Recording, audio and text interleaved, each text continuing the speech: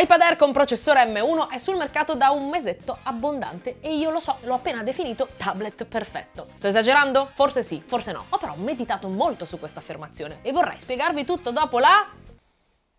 Sigla! Bravissima.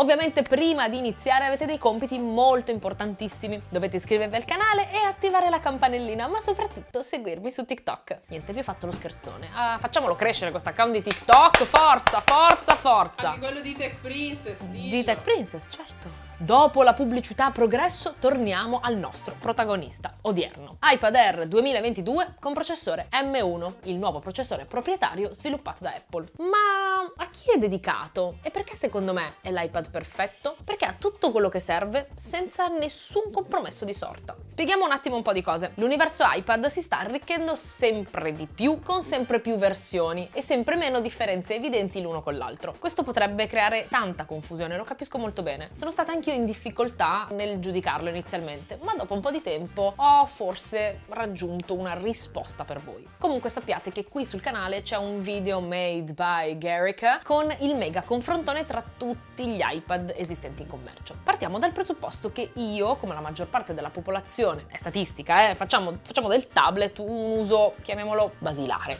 Leggo le mail, uso tantissimo l'Apple Pencil per prendere appunti su note, eh, ho i PDF con le varie annotazioni, eccetera, eccetera. Non sono però solita montare video, non faccio foto con il tablet perché me lo vieta la mia religione e non progetto complicati prodotti in CAD perché non ne ho le competenze e neanche le necessità. Questo mio uso quindi all'inizio non mi ha fatto minimamente percepire le differenze tra iPad Pro, che io ho e ho in uso il 13 pollici, e questo iPad Air. Anche perché a prima vista il design è esattamente identico, se non per alcuni piccoli dettagli. Le funzioni di base inoltre sono assolutamente condivise, partendo dalle prestazioni, sia per operazioni che richiedono basse risorse, sia per quelle che ne richiedono di più. E poi è garantita anche la compatibilità con l'Apple Pencil di seconda generazione, ma anche la Magic Keyboard, che è esattamente la stessa. Quindi, che cosa caspita cambia?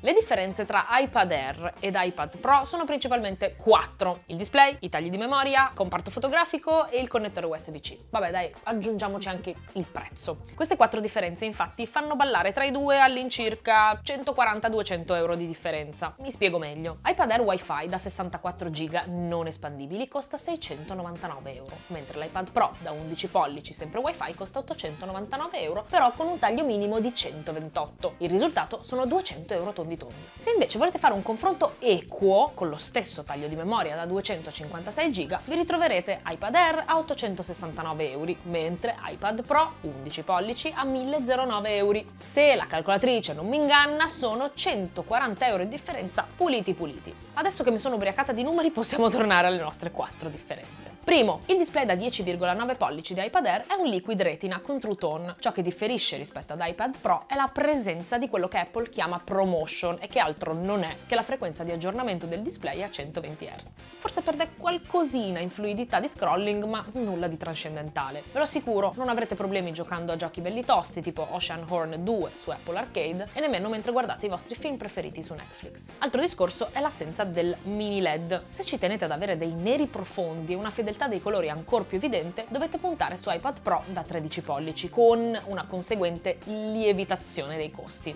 e non di poco. Dobbiamo poi parlare per forza della memoria interna. Due soli tagli di memoria, 64 GB oppure 256, senza troppe vie di mezzo. Io personalmente uso un numero limitato di app sul tablet, non carico foto, non faccio video e in caso se mi servono li trasferisco direttamente con AirDrop dall'iPhone al tablet per godermeli un po' più in grande. Uso solo le mail e qualche PDF bello corposo su cui prendere appunti. Fatta questa permessa, per me bastano e avanzano 64 GB. Se invece sapete che senza spazio di memoria la vostra vostra vita non ha un senso, avete già capito che fare. Fino a 256 GB siete coperti da iPad Air. In alternativa dovete andare su iPad Pro, che arriva fino a 2 TB. Ricordo a tutto il pianeta che iPad non ha memoria espandibile su nessuna delle versioni presenti sul mercato, quindi ragionate bene la vostra scelta. Magari considerando non solo l'uso che fate ora, ma cercando magari, nel limite del possibile, di prevedere il futuro. Vi faccio l'esempio triste dell'esperienza della Gerica. Vi racconto questa triste storia perché è ancora una ferita aperta. Nel lontano 2014 la Gerica comprò un iPad Air cellular da 16 giga. Nella sua testa un pochettino bacata non l'avrebbe usato tantissimo e con poche app. In realtà dopo sei mesi non è stato così e le app sono aumentate diventando tantissime fino che a un certo punto non riusciva manco più a fare gli aggiornamenti, eh povera Gerica. Rip al suo iPad. È vero che è durato quasi 7 anni, ma se non fosse stato per lo spazio probabilmente se lo sarebbe tenuto e sarebbe ancora qui con noi e vi, visserebbero tutti felici e contenti, ma così non è. L'ho raccontata bene? Guarda, non avrei saputo raccontarla certo, meglio. Immaginavo. Torniamo a noi. Comparto fotografico. In questo caso è dotato di una sola fotocamera posteriore grandangolare da 12 megapixel. Mancano lo zoom ottico, il sensore ultra grandangolare e il sensore LiDAR, che ricordo essere un sensore che aiuta nella messa a fuoco, rendendola più precisa e che viene utilizzata per alcune applicazioni che scansionano oggetti e ambiente circostante. Ci sono app utilizzate per diletto oppure per scopi professionali. Se non sapete che cosa sia il LiDAR, beh, significa che non ne avete avete di certo bisogno. Concludiamo con la quarta e ultima caratteristica differente. A prima vista la porta di ricarica USB-C potrebbe sembrare la stessa e invece c'è una differenza sostanziale. Su iPad Air ha le funzioni di ricarica e può essere usata per collegare alcuni display SSD esterni. Su iPad Pro abbiamo invece lo standard Thunderbolt 4. Cosa cambia? Il Thunderbolt permette di trasferire file più velocemente, fino a 40 gigabit per secondo, e di collegare più accessori esterni ad iPad. Se non lo usate a livello professionale, probabilmente